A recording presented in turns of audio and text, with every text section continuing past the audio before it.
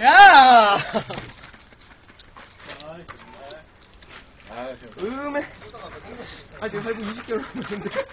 야, 할부 한 10개월 남으면은 폰이 곤란하지